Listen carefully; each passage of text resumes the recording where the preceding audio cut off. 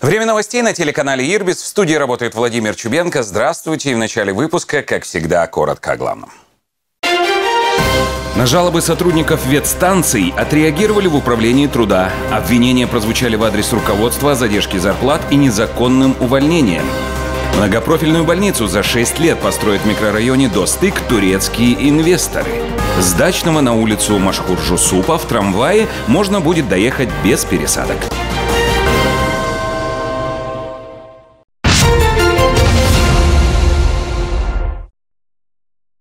Все еще без собственного жилья?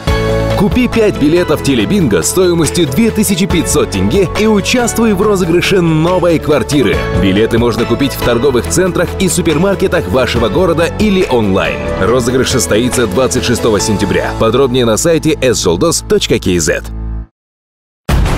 Все, что интересует вас, интересно нам. Проект, где вы задаете свои вопросы и получаете ответы в прямом эфире. В этот четверг, 9 сентября в 20.40. Звоните по номеру 55 76 40 и пишите на WhatsApp 8 705 600 31 85.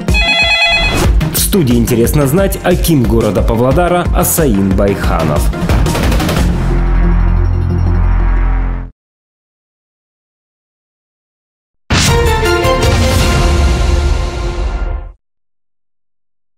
Костюмы ведущим предоставлены салоном мужской одежды «Ламберти».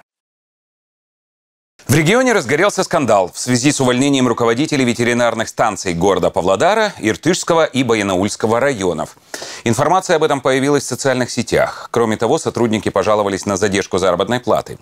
За Айболитов вступилась трудовая инспекция. Подробности выяснил наш корреспондент. Изучив бумаги, специалисты нашли нарушение Трудового кодекса. В итоге областному ветеринарному ведомству было выдано предписание. По данным обращениям, ГУ управления труда провела внеплановую проверку, э, в ходе которой было выявлено нарушение э, в соответствии по увольнению данных работников, незаконное увольнение, э, в ходе которой было выдано предписание на основании которого работодатель восстановил данных работников с 1 сентября текущего года.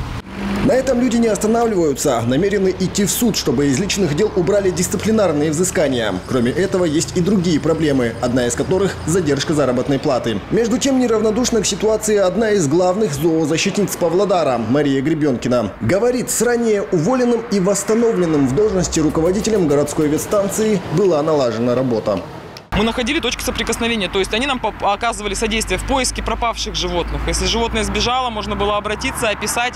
Их служба по городу ездит, их вызывают. Они могли позвонить, сказать, ваша собака здесь, приезжайте, забирайте. И не наша, а горожан.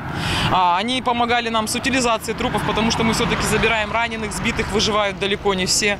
Мы им сообщали, где мертвое животное, потому что по городу много еще они забирали. Ситуацию пообещали прокомментировать в управлении ветеринарии Павлодарской области. Наша телекомпания ждет официального комментария. Азамат Аидхалин, Максим Носков, телекомпания «Ирбис».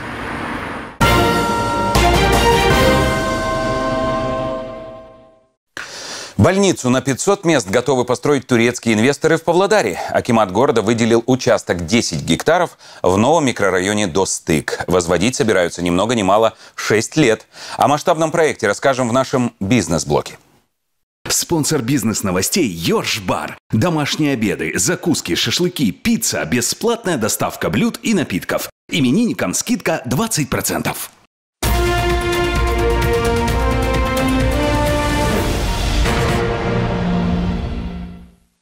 Помимо новостроек в микрорайоне Достык в 2022 году должны приступить к возведению медицинского комплекса. По информации управляющей компании СС Павлодар, многопрофильную больницу будут строить порядка тысячи человек, а это дополнительные рабочие места. Когда объект завершат, трудиться в нем будут почти полторы тысячи специалистов.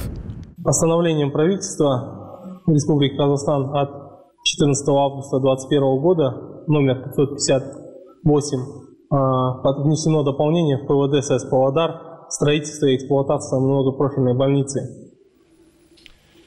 По информации инвестора, ввод в эксплуатацию данного объекта запланирован на 2028 год.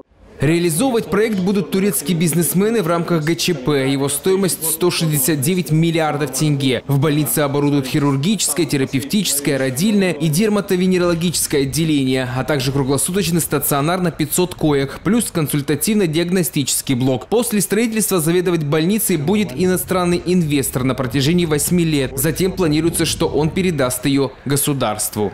Артем Клеман, Александр Колесников, телекомпания «Ирбис». Массовой уборке зерновых культур приступили в Павлодарской области. Завершили чуть меньше половины от общего объема. Средняя урожайность 11,3 центнера с гектара. Лидируют Иртышский район, Железинский и Теренколь. Темпы уборки э, хорошие, в пределах 35% уже идет. Э, немного отстает у нас Щербакинский район по уборке зерновых среди зерносеечки. Я думаю, сейчас подтянутся.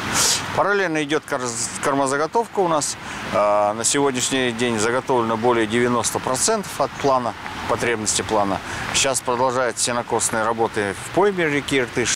Продолжается и уборка картофеля, овощей. Урожайность на уровне прошлого года отметили в управлении сельского хозяйства. 280 центнеров с гектара. Завершить работы на полях планируют к концу сентября. Азамат Аидхалин, Валерий Павлов, телекомпания «Ирбис».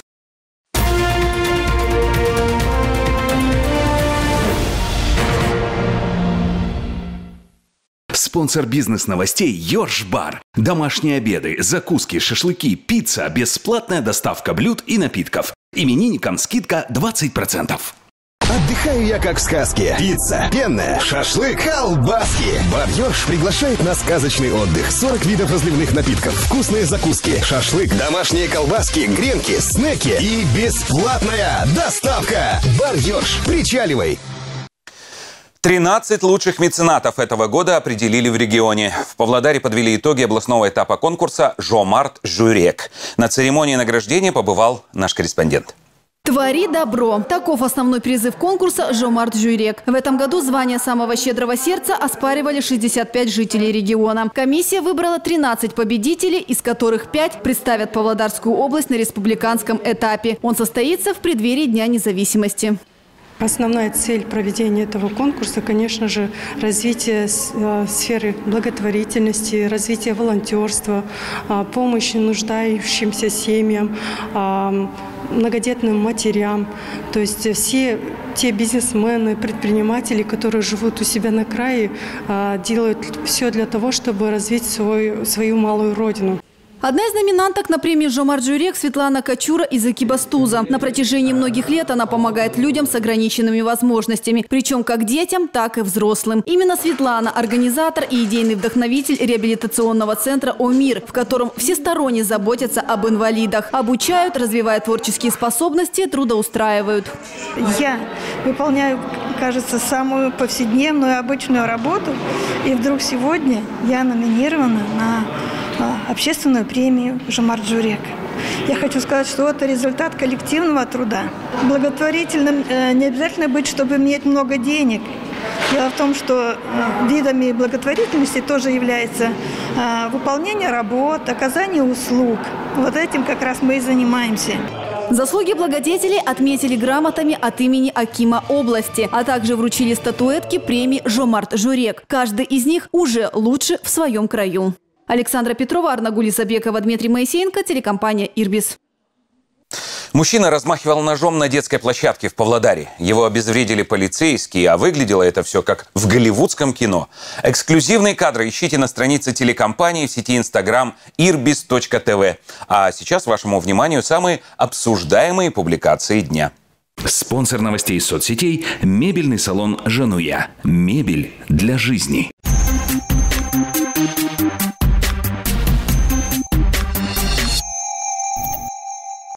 Инцидент произошел во дворе Камзина 158. Прохожие сообщили, что по улице бегает мужчина с ножом в руках и прыгает на людей. Полицейские, как говорится в их описании ситуации, использовали профессиональные приемы самообороны. Дебашир был наказан. В итоге нарушителя задержали, оружие изъяли. Установлено, что парень состоит на учете в областном психоневрологическом диспансере. К счастью, никто не пострадал. Жить опасно становится, у людей крыш слетает. Страшно по улице ходить, осеннее обострение. Какая разница, каким способом его остановили? Если такие умные, идите и уговорите его сдаться, он же невменяемый. Вот такие умники сами в первую очередь выть начинают, где милиция, куда смотрели. Телекомпания Ирбис, как и вы, наши зрители, каждый день пытается сделать город лучше. Запоминайте и записывайте номер нашего мобильного приложения 8705 631 85. На WhatsApp присылайте ваши проблемные видео. Будем решать вместе. А на этих кадрах вы видите очередной пример бескультурия. Грязь и мусор после распития алкогольных напитков в одном из дворов. От негатива давайте скорее к позитиву. Знакомьтесь, это Диляра Сансесбай, девочка юный журналист. В социальных сетях она выкладывает сюжеты, рассказывая о родном городе. Подписчики отмечают, с каким удовольствием героиня делает это. У нее точно дар, говорит аудитория. Очередной сюжет Диляра сняла о парках Павлодара. Получилось очень интересно. Несколько лет назад хотели обновить колесо обозрения, но спонсора так и не нашлось. Вид отсюда просто замечательный. Весь город как на ладони. Такие сюжеты очень хочется обязательно досмотреть до конца.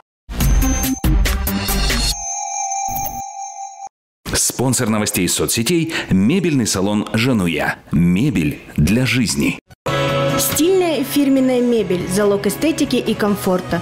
Только в салоне «Жануя» по адресу улица Нуркина, 114, дробь 1 предоставлен огромный выбор мягкой мебели в разных ценовых категориях. Диваны и кресла от российской фабрики «Аврора» – соотношение цены и качества. Нестандартные решения для любого пространства и на любой вкус. А большой ассортимент корпусной мебели вы найдете в магазине по адресу улица Сатпаева, 253, дробь 1.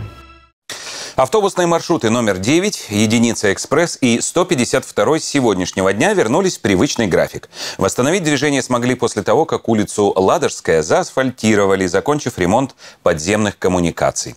Между тем, в Павлодаре приступили к укладке новой трамвайной ветки, которая напрямую соединит улицы Дачного микрорайона и Машхор-Жусупа. Этого поворота многие жители дачного микрорайона и Усолки ждали с нетерпением несколько лет. Чтобы попасть на улицу Машхор Жусуба, приходилось ехать с пересадками. Сейчас участок на пересечении Ломова проспект Назарбаева перекрыли и приступили к прокладке новой трамвайной ветки. Сейчас новые схемы маршрутов трамваев разрабатываются и в скором времени будут представлены общественности. Ремонтные работы планируется завершить до конца сентября.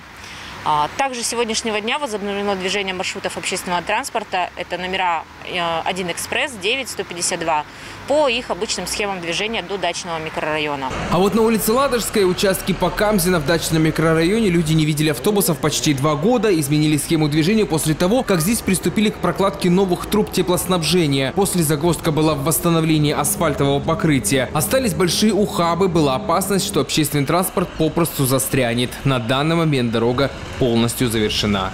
Артем Клемент, Сирикон Акбаев, телекомпания «Ирбис». Качество асфальта, которое уложили на хромзаводе год назад, оставляет желать лучшего, жалуются зрители Ирбиса. А еще фонари на нескольких городских улицах до сих пор не подключены. Во дворах темно. Мобильное приложение продолжит выпуск новостей. Спонсор рубрики «Мобильное приложение «Мой Павлодар». Жизнь горожан в одном приложении».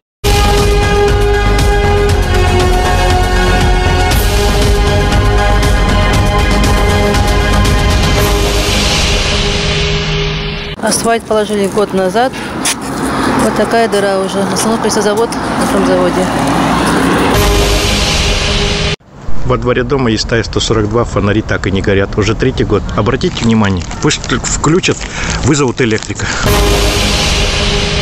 Лермонта 86 и Лермонта 88. Сколько лет нету света? Там двор и там двор. Вот только единственный свет. Вот такой бардак у нас тут возле Гулливера. Построили нам вот такое вот чудо. Тут две аптеки. И вот каждый день одно и то же. Бесполезно. Во дворе Сатпаев 40 перекопали. Был хороший асфальт. Все перекопали, бросили. И никому ничего не надо. Власти, сделайте, чтобы вот это у нас все было как раньше. Что это? Яма на яме. снесли все ограждения между нашим домом Пахомова 62 и этой стройкой. Две недели уже тут идет стройка, а, заборы и ограждения никакие не ставятся. На участке на частном играют дети, и они могут пораниться. А, во-вторых, поставили туалет общественного пользования, куда будут ходить рабочие два года, прям практически вплотную с нашим участком.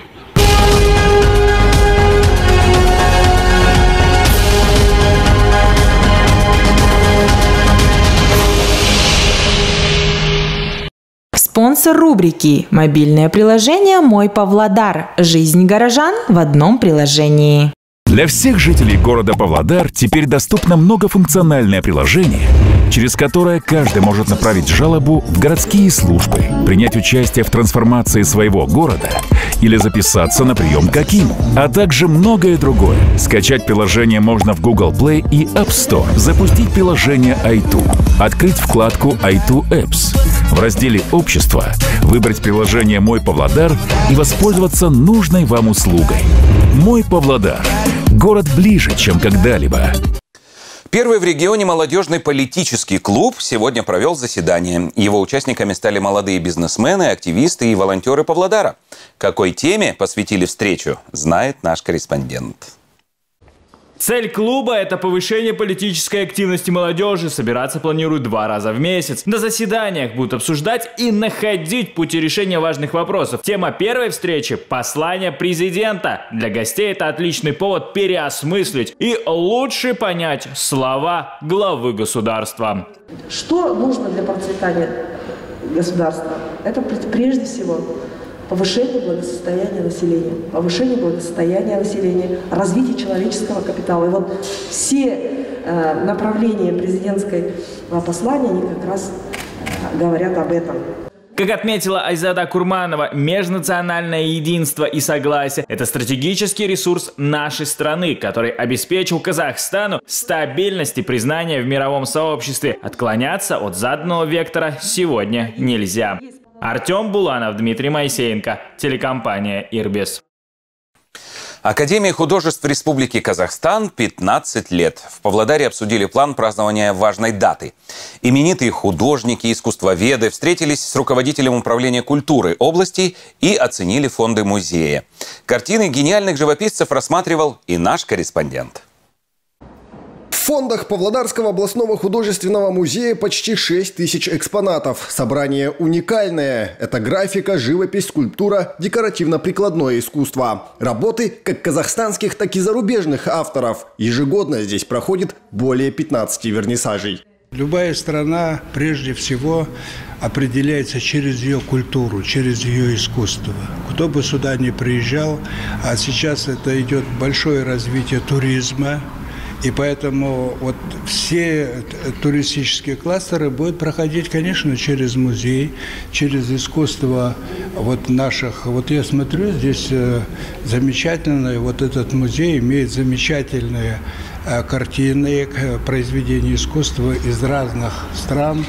Стенах музея проходят мастер-классы, экскурсии, творческие вечера. Все это вызывает большой интерес у ценителей искусства. Работу продолжат. Цикл мероприятий посвятят юбилею Академии художеств Республики Казахстан. Азамат Айтхалин, Максим Носков, телекомпания «Ирбис».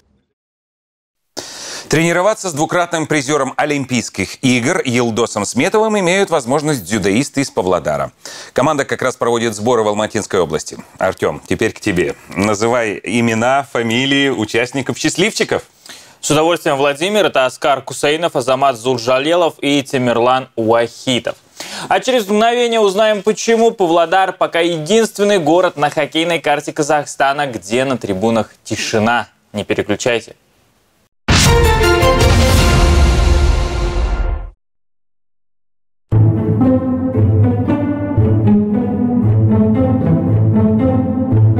Вас есть вопросы?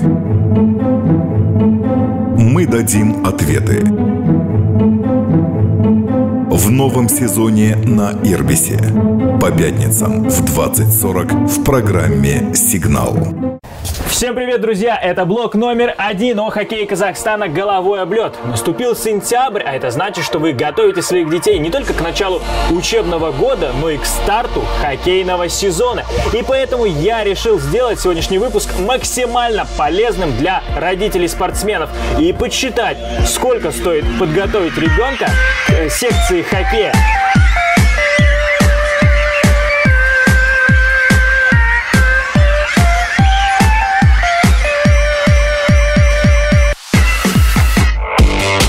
Не только интересный, но и полезный выпуск. Не пропустите уже в субботу в 22.00 и в воскресенье в 11.00.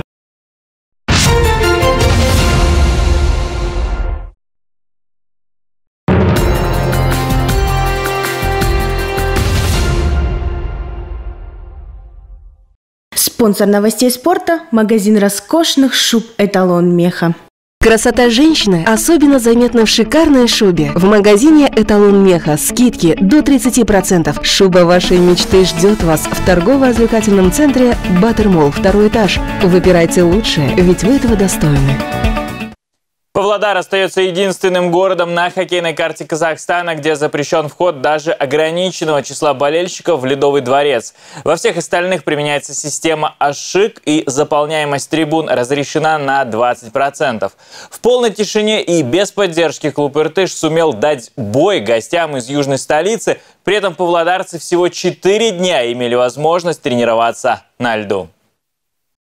Матч между Иртышом и клубом Алматы начался с минуты молчания. Хоккеисты почтили память известного фотожурналиста Владимира Бугаева. В первом периоде хозяева льда удивили, похоже, даже самих себя. У них было всего 4 дня ледовой подготовки по причине поломки морозильного оборудования во дворце. Но играли парни от души. Алматинцы забросили шайбу первыми, причем отличился Сергей Машинец, еще в прошлом сезоне защищавший цвета нашего коллектива. Но из-за финансовых проблем покинувшего бело-синих. Ответный и первый гол в сезоне на счету молодого Никиты Ляпунова. Ну, Шкленник, равно как и Белимбаев, может играть как в обороне, так и в атаке 1-1. И Никита Липунов сравнивает счет. Скажу так, что счет не по игре, могли лучше сыграть. Давно не было льда, но завтра будет совсем другая игра, выйдем с другим настроем это уже история, надо готовиться на завтра. Несмотря ни на что, и как бы дали нам, ну, так скажем, э, немного, что мы встали, не понимали, что они делают. И ну, ко второму периоду проснулись, послушали установку тренера и считаю, что перевернули игру в свою пользу, забили нужные голы. Иртыш из-за отсутствия тренировок на льду заметно подсел в концовке матча. Опытные и более мастеровитые, да и просто звездные алматинцы этим воспользовались, забросив еще 4 шайбы. Итог 1-5. Букмекеры, дав хозяевам льда коэффициент на победу 8, были правы. Уповать в этом противостоянии можно было только на чудо и волевые качества местных воспитанников. Серьезные изменения Федерации бокса Казахстана. Новым главным тренером мужской команды назначен Кайрат Саджанов. На этом посту он сменил Галымбека Кинжибаева, который был у руля сборной с 2018 года. За это время наши спортсмены выиграли 6 наград. Продолжим тему женским боксом. Сегодня глава региона встретился с триумфаторами чемпионата Азии. Аким Павлодарской области встретился с Миланой Аюповой и Хавой Балкоевой, которые завоевали золото и бронзу чемпионата Азии среди молодежи. Абылкаир Искаков подчеркнул, что сегодня их команда уже готовится к новым стартам, первенству Казахстана среди взрослых. Кроме того, атлеты ставят перед собой цель завоевать лицензию для участия в следующих Олимпийских играх, которые примет в 2024 году Париж. Искреннюю благодарность за добросовестный труд, упорство, плодами которой является золотая бронзовая медаль молодежного чемпионата Азии. Вся Павлодарская область следила за ходом ваших выступлений. Хочу отметить, что такого высокого результата спортсмены нашей области э, добились впервые. Следом девушек и их тренера уже ждали в родной школе колледжа Олимпийского резерва. Для них здесь приготовили красную ковровую дорожку и подарки. Я поступила сюда в 2016 году, в седьмой класс. Вообще я поступала по волейболу. Э, я два года занимаюсь волейболом. Поступила я сюда тоже по волейболу. И полгода я ходила на бокс. И тут так сложилось, то, что в э, середине, в середине седьмого класса, после второй четверти, меня перевели на бокс. Вот с того времени мы тренируемся, два раза в день у нас тренировки. Учебу совмещали, конечно, как раз и учебу подбирались, под... сделано так специально в интернете, чтобы утром оттренироваться и учиться, и после обеда там тренировка вечерняя. И вот к этому, к этому и предназначен этот да? Ну, Милана, она уже у нас уже пять лет, как здесь учится. Мотивированные спортсменки пообещали не сбавлять обороты и продолжить радовать своими победами. Каждой из них достался конверт с финансовым поощрением. В Щучинске продолжаются матчи осеннего чемпионата Казахстана по баскетболу. Играют юноши и девушки группы Ю-12. В первой встрече павлодарки уступили соперницам из столицы, а затем выиграли у сборной Алматинской области со счетом 48-39. Тем временем команда по легкой атлетике готова к первым стартам нового сезона.